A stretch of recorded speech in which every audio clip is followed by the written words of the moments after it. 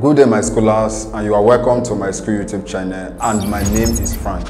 In today's video we are going to be learning about simple machines. So sit down, relax, do not go anywhere and I'll be right back.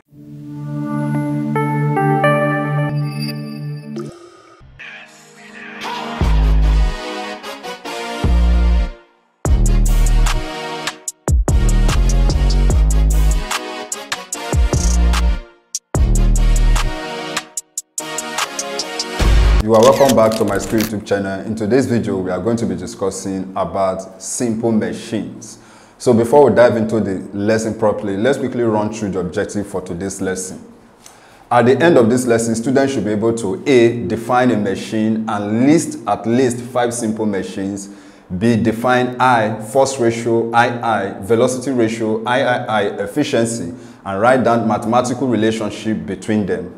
C. Relate I, II, and III in B above. D. Calculate force ratio, velocity ratio, and efficiency for a simple machine. E. Draw I an inclined plane, II, wheel and axle, III, a lever, IV, a pulley, V, a screw, VI, a hydraulic press, and where possible, do this to achieve a specific velocity ratio. So let's move to the next slide. Let's begin with our lesson. So in physics, when we talk about machine, we are not necessarily referring to a complex piece of mechanism. Okay, we are simply referring to a device or tool used to do work. So in physics, we define machine, okay, as a tool or device that allows a force applied to one end to overcome a resisting force at another point. Okay, so in most cases, but not all cases, the machine enables a load or resistance to be overcome by a small force. Okay, so a simple machine is a machine in its simplest form. So some example of common machines are scissors, drill, drill brace, the shovel, the pulley at the top of a flag post, the steering wheel of an automobile, and the wheelchair ramp. Okay, those are some examples of simple machines. So let's move to the next slide. So there are some terms, okay, normally used when describing or when talking about machine in physics. Okay, so the first term is mechanical advantage. Okay, so another word for mechanical advantage is force ratio. So don't be confused. So mechanical advantage of a machine is defined as the ratio of the load to the effort Mechanical advantage or force ratio is defined as the ratio of the load to the effort. So the load here actually refers to the resisting force, okay, why the effort here is the applied force, okay, or the force that is applied to overcome the resisting force, which is the load. So mathematically, mechanical advantage is equals to load over effort, okay, it's usually a ratio. Okay, so note that the mechanical advantage of a machine is influenced by friction in parts. Okay, friction affects the mechanical advantage of a machine and also the quality of construction of a machine also affects the mechanical advantage of a machine. Okay, so the next term is called velocity ratio. Okay, so the term velocity ratio is defined as the ratio of the distance moved by the effort to the distance moved by the load. So velocity ratio is equals to x over y. Okay, where s here represent the distance moved by effort and y represent the distance moved by load. So let's move to the next slide and discuss about the other term called efficiency. Okay, so but before we talk about that, uh, you should note that the velocity ratio of a machine depends on the uh, geometry of the machine. So geometry here actually represents the shape of the machine. Okay, so let's talk about the um, other term used when describing machine in physics, which is efficiency. Okay, and efficiency is represented with this symbol, is denoted by this symbol, and this symbol is known as eta. Okay, it is spelled E-T-A, eta. So what is the meaning of efficiency? So efficiency is just the ratio of useful work done by the machine to the total work put into the machine. Okay, the ratio of the useful work done by the machine to the total work put into the machine is what is known as efficiency of a machine. Okay, so it is usually expressed as a percentage and is defined as follow. So efficiency is equals to work output all over work input times 100%. But remember that work is defined as, mathematically, work is defined as force times distance. So work output is equals to load transistor move by load, meaning the efficiency can also be gotten by using this formula, load transistor move by load over effort times distance moved by effort.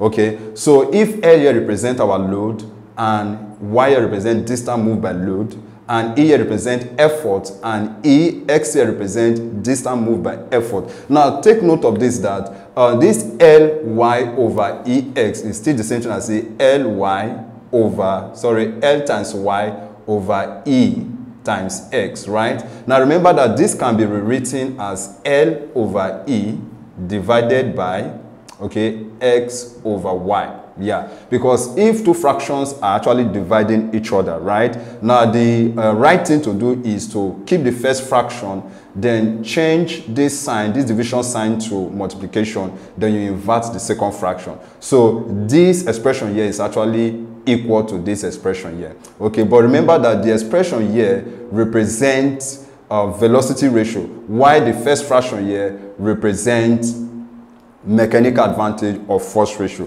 so that efficiency of a machine can as well be equal to mechanical advantage all over velocity ratio because our x over y here represent our velocity ratio from our definition we've seen that earlier okay? So that efficiency of a machine is also equal to mechanical advantage over velocity ratio times 100 percent okay? And it should be noted that efficiency of a machine decreases with increase in friction Okay, we all know that uh, friction affects mechanical advantage. Okay, and from this relationship, efficiency is directly proportional to mechanical advantage. So anything that is happening to mechanical advantage will definitely affect the efficiency. Okay, will definitely affect efficiency. That's why efficiency decreases with increase in friction because increase in friction will lead to decrease in mechanical advantage. Let's move to the next slide to continue with our lesson.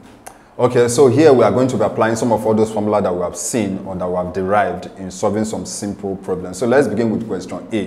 What does it mean that the mechanical advantage, MA, M for mechanical, A for advantage? So what does it mean that the mechanical advantage of a machine is 4 ratio 1?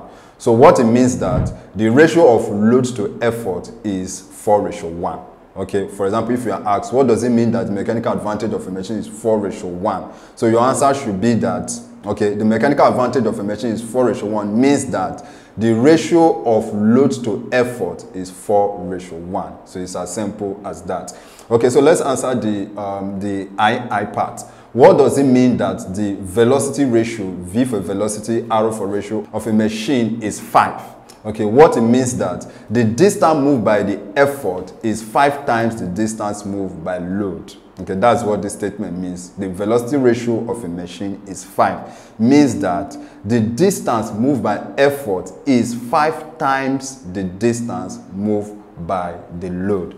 Okay, so let us move to B. Okay, an electric water pump rated 1.5 kilowatts lifts 200 kg of water through a vertical height of 6 meter in 10 seconds. What is the efficiency of the pump? So let's move over to the board to solve this problem. Now remember, as usual, the first thing first is to write out the informations that are given to you in the question. It will help you.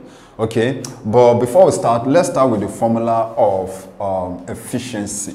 Okay, so we know efficiency, I said this is the, a symbol for representing, or efficiency is denoted by this symbol. And this symbol is known as eta. Okay, so take note of that. So efficiency is equals to, in this case, we are going to be using work output okay, all over work input to solve this problem, okay, times 100%, right? Now, from the question, we know that the work input, okay, which is the uh, the rate, okay, because the, according to the question, an electrical water pump rated 1.5, okay, so that is the input power. So work input, we already know, is equals to 1.5 kilowatts. So we change this kilowatts to, to watts by simply multiplying this by 1,000. So if we multiply this by 1,000, we're having 1,500, right? 1,500 watts. So I've gotten that. Now, if you check very well, we don't know the work output, but we can get the work output by simply calculating power. Now, remember that power is equals to work done over time, right? And remember that work done is equals to force times distance, right? Or you can as well take it, maybe if the work is done uh, against gravity, then it becomes uh, then it becomes mg times h, right? So let's look at the information that is given to us there. So we are given mass to be equals to 200 kg. We are given height h to be equals to uh, 6 meter. We are given time to be equals to uh, uh, 10 seconds. Now remember we are going to be taking g, right, to be equals to 10 meter per second square. So with this, we can substitute this into our formula to get the work output. Okay, so this will be the work done by the machine. Okay, so in this case, we'll be having mg times h all over t, right? So we are calculating for power, okay, which is work output. So in this case, we'll be having 200 times 10 times height, which is also, okay, which is 6, then divided by 10, right? So 10 we cancel out 10, so that will be having 200 times 6, and that will be equals to 1200 watts, right? So now that we've gotten our work output, then we can go back to our formula for, for efficiency and substitute these values into the formula. Okay, so now our work output equals to 1200 and our work input is equals to 1500 then times 100 over 1. So these zeros, we take out these, right? So 5 here will be 3, 5 here will be 20, 3 here will be 1, 3 here will be 4. So that at the end of the day, we'll be having 4 times 20, and this will be equals to 80%. So the efficiency of the pump is equals to 80%. So the answer to example B is equals to 80%. So let's solve C. A machine has a velocity ratio of 5 and is 80% efficiency. What effort would be needed to lift a load of 2000 Newton with the aid of this machine? So as usual, let's move over to the board to provide answer to this question. So if you look at the question carefully, find out that we are giving velocity ratio, but we are not giving mechanical advantage. Okay, so and it is from our mechanical advantage that we can calculate for the effort, okay, that will be needed to lift a load of 2000 Newton with the aid of this machine. So let's go efficiency, okay, it is equals to in this case, we are going to be using mechanical advantage over velocity ratio times 100%. Okay, but remember that mechanical advantage is equals to load over effort, right? And V dot R, which is our velocity ratio, is given to us to be equals to to be equals to uh, 5, okay, to be equals to 5. And uh, the efficiency is given to us to be equals to 80% right? So first of all, get um, solve for mechanical advantage from what we have here, okay? So efficiency is equals to mechanical advantage all over velocity ratio times 100, okay, times 100%, right? So let's put in the values that are given to us. So we can easily do this by writing 80 over 100 because that's what 100% means. Okay, 80 over 100 is equals to mechanical advantage all over velocity ratio. Now, there's no need to write this again, okay, since we actually use 80 over 100, right? But we can just write 80 here and still leave our 1000 here, uh, our 100% here. So you still have the same answer. So you can do it anyhow you want to do it, but the most important thing is that you get the correct answer. Okay, so you can write 80 over 100 here, or you can just write 80 here, then fixing this value, then times 100 is still the same. So we cross multiply. This will give us 100 MA is equals to 80 times. Of course, we know the value of our VR, which is 5 right? So if we multiply this, this will be equals to 400, right? Now, since we are looking for MA, okay, so we divide both sides by the coefficient of MA, which is 100. So if we divide 400 by 100, that will give us 4. Okay, so we already know that our mechanical advantage is equals to 4. Okay, but we are asked to calculate the effort.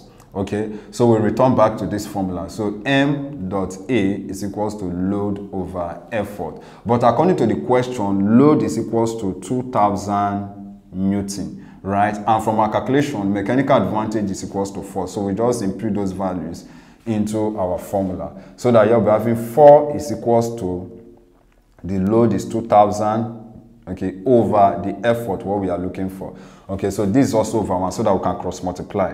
So that we'll be having 4e is equals to 2000 right? So we divide both sides in order to get the effort by the coefficient of e which is 4 so e will now be equals to 2000 divided by 4 and this will be equals to 500 newton.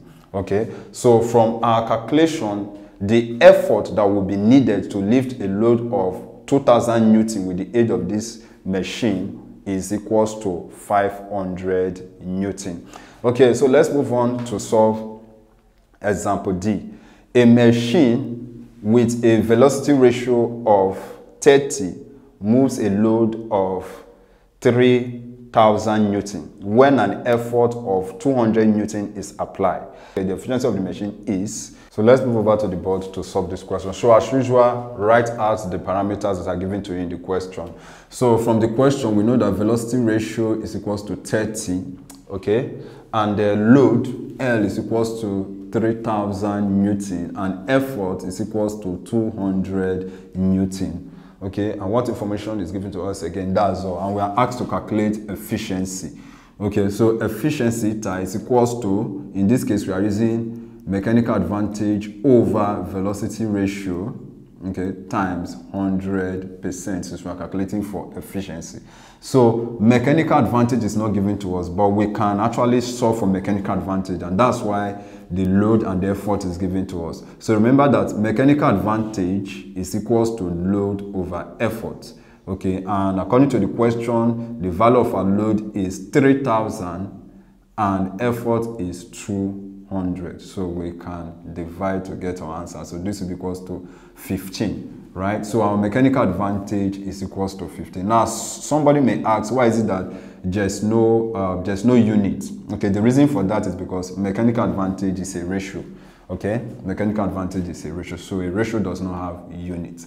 Okay, so our efficiency now will be equals to, now we already know the mechanical advantage will be equals to 15.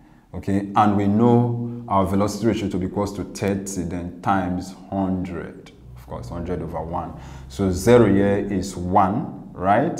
Then um, 0 we take out 0 from here sorry. 0 will cancel out 0 from here so that we'll be having 3 here. So 3 here is 1 3 here is 5 so that at the end of the day we are now having 5 times 10 and that will be equals to 50 percent. Okay, so let's move back to the screen. So the efficiency of the machine is 50%. So this is where we draw the curtain for the preview for today's video and I believe you enjoyed the little part you have watched. If you want to watch the complete video, you can click on the link in the description below and this will take you to Myschool website. There you have to subscribe to enjoy the complete video. And in the complete video, we talked more about types of machine and the different uh, calculations and formulas that are associated with this machine. It's something that you will really love and you won't want to miss. Okay, so I believe you enjoyed the little part you have watched. If yes, please do not forget to click on the like button, hit on the subscribe button, and lastly, tap on the notification bell to get informed as soon as we release the next video.